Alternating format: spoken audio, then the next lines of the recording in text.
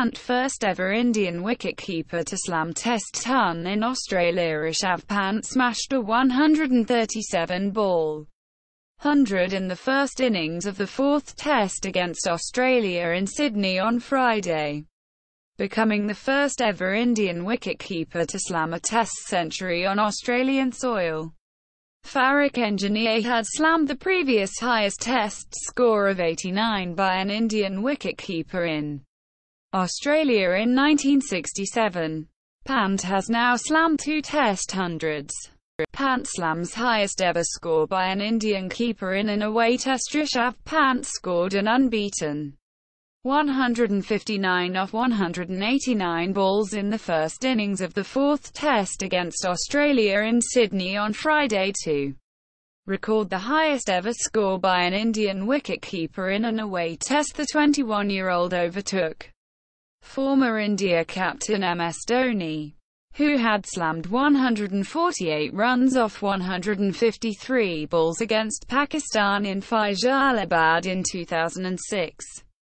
Surbhi held Dipika's neck. Wasn't shown on Bigg Boss 12.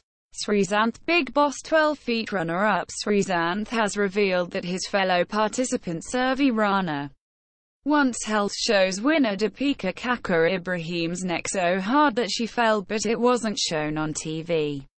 He added Surbhi also held Srishty Rode's hair, which led to Srishty almost falling on a slab.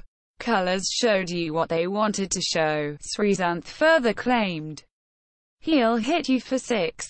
Babysit your kids. Bharat Army's chant for Pant The Bharat Army, the official Indian cricket supporters group, has come up with a chant for wicket-keeper batsman Rishabh Pant which includes references from banter in Australia-India Test Series. The group shared a video on Twitter wherein supporters can be heard chanting, We've got Rishabh Pant. I just don't think you'll understand. He'll hit you for a six. He'll babysit your kids. Your kids. It was lovely meeting Aus captain Tim Paine's family. Rishabh Pant talking about meeting Australia captain Tim Paine's wife and children at Australia. Prime Minister Scott Morrison's official residence on New Year's Day. India wicketkeeper batsman Rishabh Pant said it was lovely meeting them. I don't think I have to change myself for something like that.